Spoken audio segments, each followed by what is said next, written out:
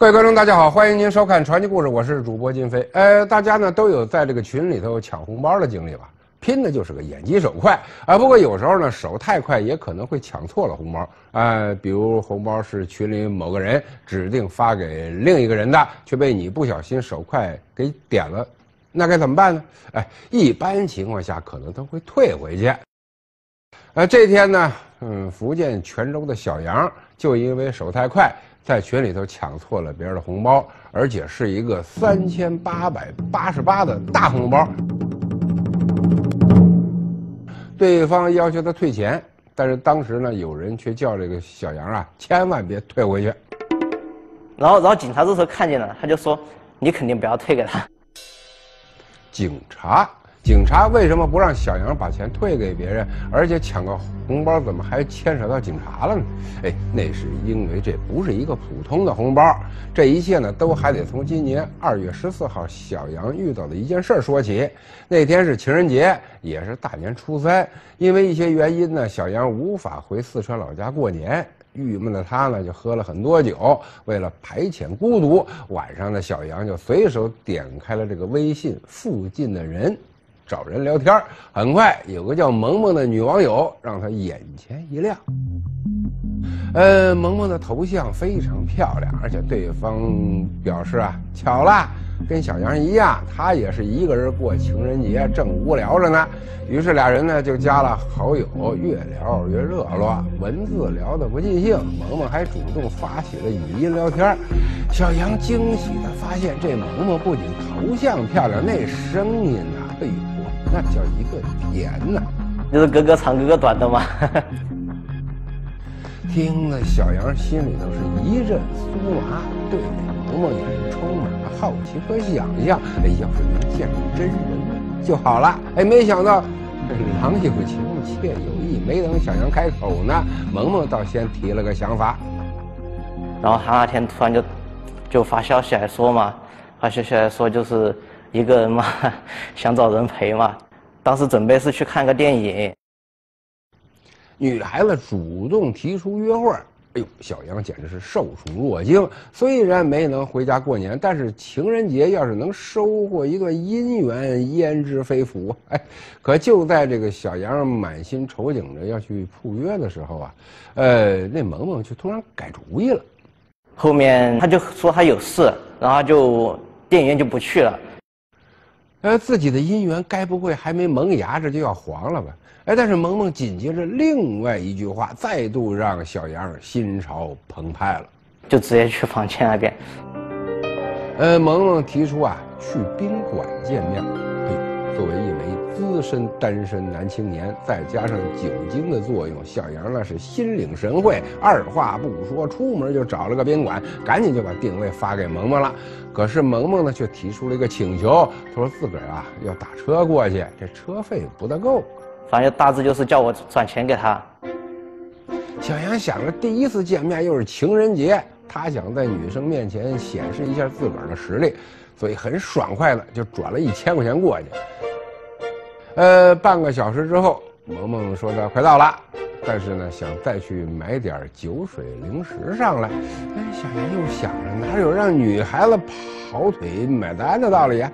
呃，为了刷好感，于是他又给萌萌转了两千块钱过去。可是接下来，小杨是左等右等，又过了一小时，那萌萌呀，居然还没出现呢。小杨急了，这人到底在哪儿呢？他又给我发个定位，就在楼下。就在楼下，为什么不赶紧上来呀？之前都还很主动的萌萌，这会儿却变得支支吾吾了。他表示自个儿第一次跟网友奔现，大晚上的，又是在这个人生地不熟的地方，也不知道小杨是什么样的人，担心万一出点什么事儿，自个儿吃了亏。那那到底该怎么才能见面呢？哎，萌萌提了个条件，有保障一点嘛，对吧？双方保障保障金嘛，就叫。萌萌让小杨再给他转三千块钱，意思是万一出事了，自个儿最后也不至于什么都没捞着。哎，您说说，那面都没见过的陌生人，这一晚上要了多少钱呢？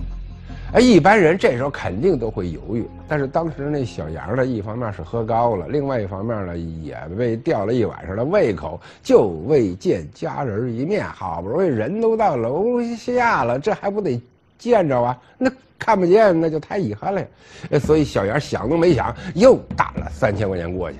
哎呀，小杨满心欢喜，这下总该能见上一面了吧？谁知道又等了好一会儿，萌萌还是没出现。这下小杨就坐不住了，然后我就下楼去找，结果定位案里一个人没有。不是说就在楼下吗？人呢？哎，小杨急得赶紧就给这萌萌打电话。呃，只听那萌萌呢连连道歉，说自个儿临时有事儿，没办法，必须得赶。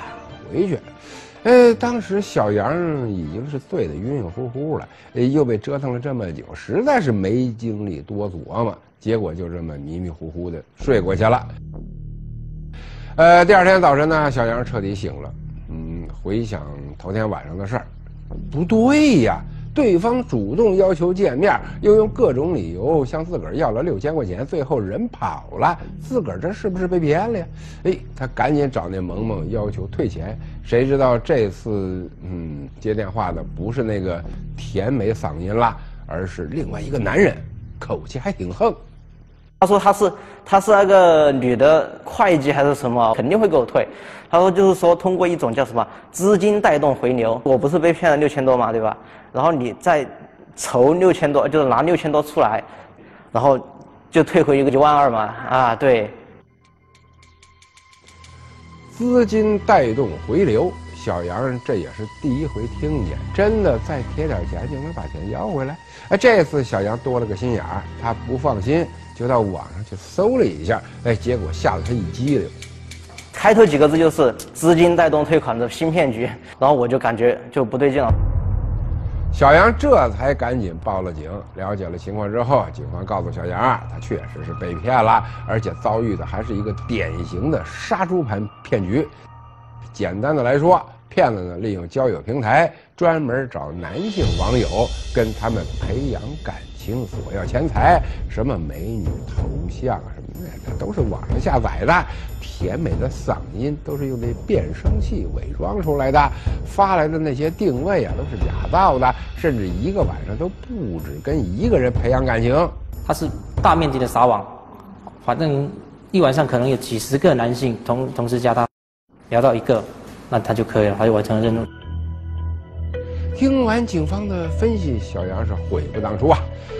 哎，色字头上一把刀啊，自个儿居然就被这么低劣的骗局给骗了。那眼下该怎么把这些人揪出来呢？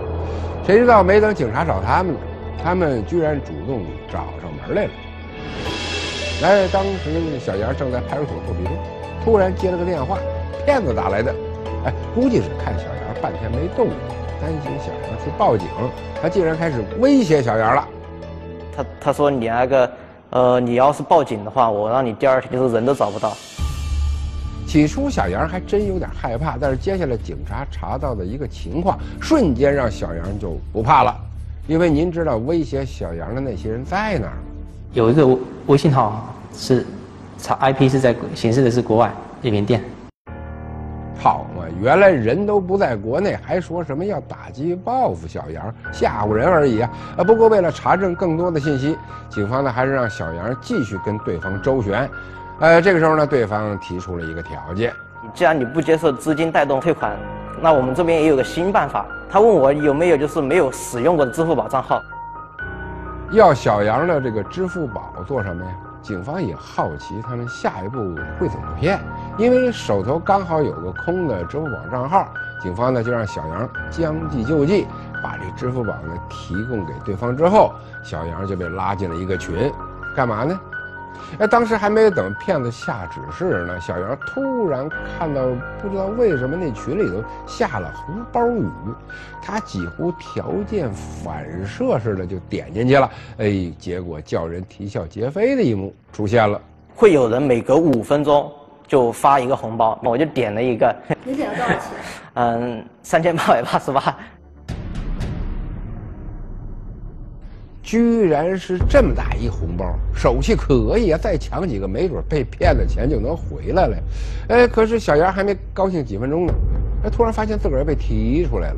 哎，紧接着骗子还打电话过来，气吼吼的要求小杨把红包立即退给他们。哎呦，你说这可能吗？然后，然后警察这时候看见了，他就说：“你肯定不要退给他。”然后他就他就说他就说我们要报警，要抓你，要干嘛？小杨都气笑了，这不是贼喊捉贼吗？在警方的提醒下，他赶紧把支付宝的密码改了，一番神操作，总算是挽回了一大半损失。呃，看骗子这反应嘛，显然他们是没想到小杨的手速这么快，运气这么好，生怕他再抢着红包，所以赶紧就把小杨给提出去了。可这到底是个什么群呢？为什么会发这么多红包呢？啊这个我们等会儿再说，先让我们把视线转移到江西上饶的一位姓柯的男子身上，因为他的一段经历啊，能够为我们解开这个红包群的秘密。呃，这位就是柯某啊，当时呢他在外地考这消防证，晚上在宾馆辗转反侧，鬼使神差的就搜索附近的人，很快就认识了一个叫雅丽的美女，就叫他出来玩吗，他同意了。雅丽如此爽快，柯某自然是求之不得了！啊，不过雅丽表示呢，她需要一点路费，还需要那么一点人身安全保证金。表现出这种一个女孩子非常的害怕，但是晚上出来非常的害怕。哦，可钱有什么用呢？钱就是保证她的安全啊！如果你对我怎么样，我钱就不退给你啊。柯某见人心切，二话没说就给雅丽转了三千块钱。呃，可是他左等右等呢。始终就没等着这雅丽出现，哎，这柯某就越想越不对劲儿了。九点多他没回我就报警了。说到这儿，您是不是在想，柯某的经历似乎和小杨如出一辙呀？都是遇着杀猪盘骗局了吧？不用问，之后肯定也和小杨一样，在警察的帮助下挽回了损失呗。哎。当然了，没这么简单。接下来事情这发展啊，就会让您大跌眼镜了。这天呢，警察赶到柯某的老家，柯某还在睡觉呢。警察一把就把他薅起来了，然后啊，注意听哈，警察居然把他给抓了。然后我们也问他，你知道你这样做是违法的？违法？这都哪跟哪儿啊？难道柯某不是和小杨一样啊？小杨被骗，报警了，还挽回了一部分损失。柯某也被骗了，也报警了，怎么最后他自个儿反倒被抓了呢？这柯某究竟做了什么呢？刚才我们说到，柯某和小杨一样，同样遭遇了杀猪盘，意识到自个儿被骗之后，同样也报了警。小杨呢，在警察的帮助下挽回了部分损失，可是柯某最后反倒被警察给抓了。这中间发生了什么呀？怎么会有这么大的区别呢？哎，这一切啊。呃，都是因为当晚柯某报警之后啊，他做了一个改变他人生方向的选择。那天晚上，柯某打完幺幺零，警察很快就赶到了他宾馆楼下，呃，正要带着他去派出所做笔录。在路上，柯某的电话突然响了，有个自称是雅丽经理的人打来的，语气非常的凶。他问我是不是报警了，叫我跟警方说。就跟公安说说钱人退了，说是误会嘛。他说他在公安局门口等我嘛，我就怕了嘛。结果您猜怎么着啊？听完这通电话之后，柯某居然真的转头就告诉警察：“不好意思，啊，一切都是误会，他不报案了。”哎，您是不是都觉得奇怪呀？警察都在柯某眼跟前了，有什么可怕的？而且面对同样的威胁，之前那个小杨都没当回事，柯某怎么就这么怕呢？您有所不知，那是因为和小杨不同的是，之前柯某在和雅丽聊天的过程当中啊，提供给对方一样东西。对方犯罪分子当时冒充女孩的时候，是说你要给我一个真实身份，不然我不敢跟你交流。他也很傻的，就把自己的身份证照给了对方，然后他现在就说，对方知道了他的身份证的地址，也知道他家里的地址。怕他会受家人会受到报复，这么重要的个人隐私，随随便便就告诉给了陌生人，这不就等于把自个儿的软肋拱手奉上了吗？也正是因为这样，柯某呢才会被对方成功威胁，在关键时刻放弃寻求警方的帮助。这个时候的柯某还不会想到，就是这个错误的选择，成了他迈向深渊的开始。呃，当晚离开警察之后呢，一个微信名叫海的人加了柯某，就是那个自称雅丽经理的人。他表示愿意把钱呢退给柯某，前提是柯某得帮他们个小忙，叫我支付宝账号给他嘛，说帮我做流水嘛。什么叫做流水呢？海经理就说了，他们公司需要用这个柯某的银行卡和支付宝走账。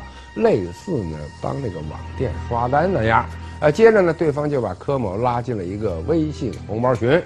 他叫叫我领红包我就领，不领红包就不要领。呃，就是说你就负责帮他抢红包是吧？那抢来之后呢？转转给那个转给就是照做就行是吧？海经理让柯某呢在群里头抢红包，再把这些钱转到一个叫 Air 的这个网友的账户上。他说这就是做流水了。他表示，只要柯某不断的转钱，完成的营业额达到第一位，他就会把柯某之前的损失啊，把这些钱还给柯某。抢个红包听起来似乎很简单，这有什么问题吗？呃，问题的严重性就在这儿了。你以为这是普通的抢红包啊？警方判断，这一抢一转，其实就是洗钱。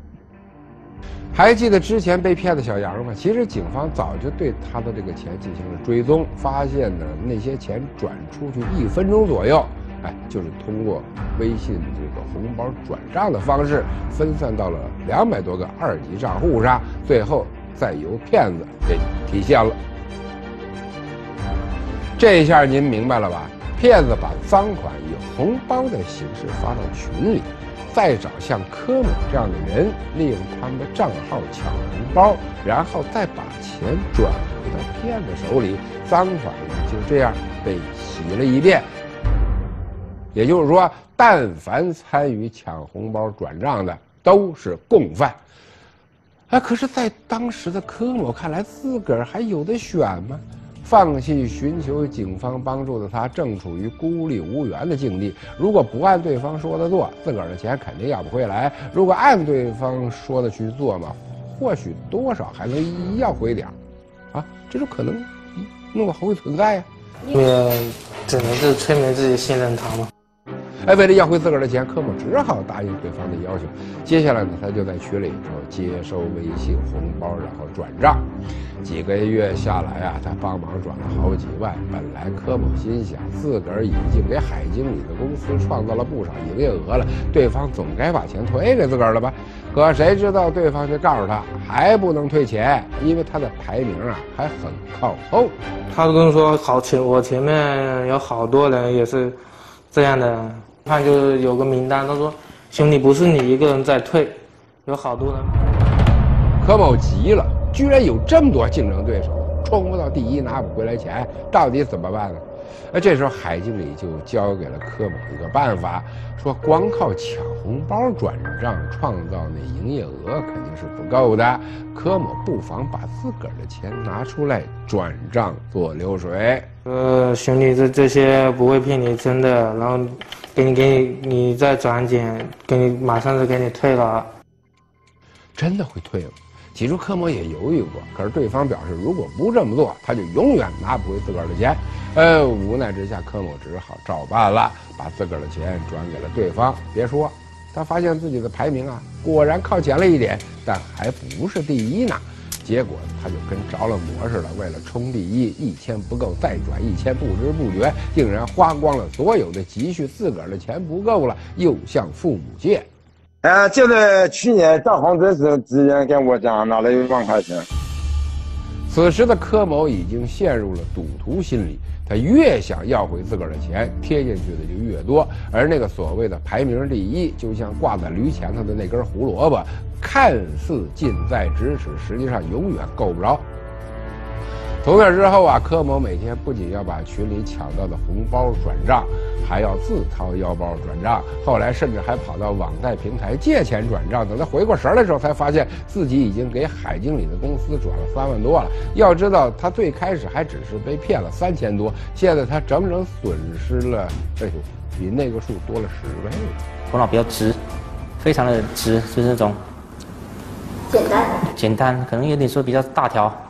结果从去年十一月到今年被抓为止，柯某已经陆陆续续替对方收了四十几十万的款项，到现在依旧没有得到他三万块的退款。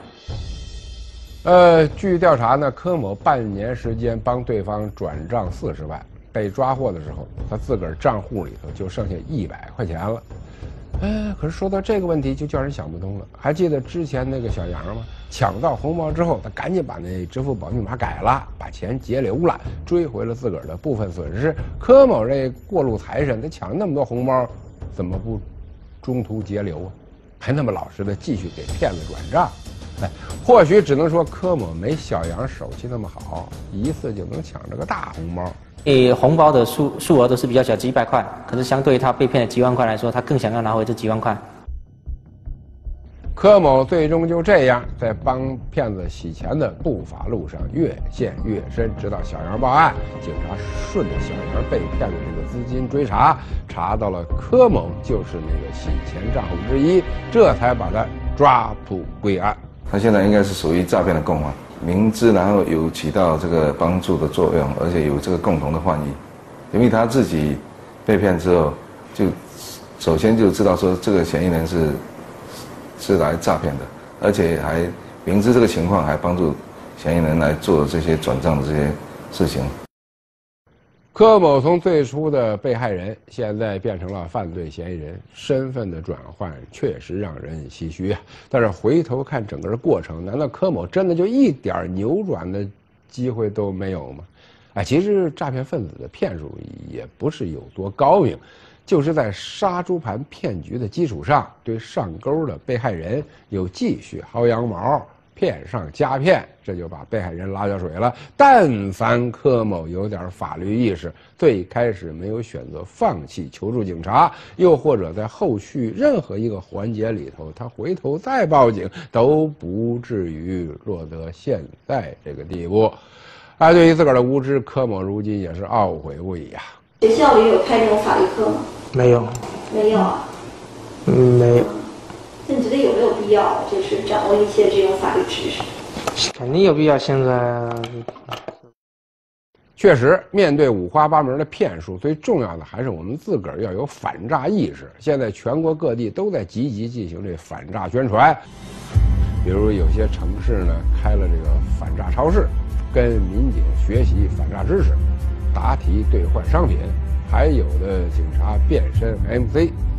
直播宣传反诈 APP 等等，哎，您看看，为了守护大家的钱包，反诈警察们真的是操碎了心呐！呃，在这儿呢，我们也希望大家多学习一点反诈知识，尤其是在这个交友过程当中，正当交友，别把自个儿的隐私透露给陌生人，不给别人留把柄。如果怀疑自个儿遭遇了电信诈骗，一定要及时报警，报警的时间越早，破案的效果越好，钱被追回来可能性也就越大。好，各位观众，非常感谢您收看今天的传奇故事。如果在您的身边有什么新闻发生的话，欢迎您通过屏幕上的联络方式告诉给我们，好让我们大家一起来关注。好，各位观众，再见。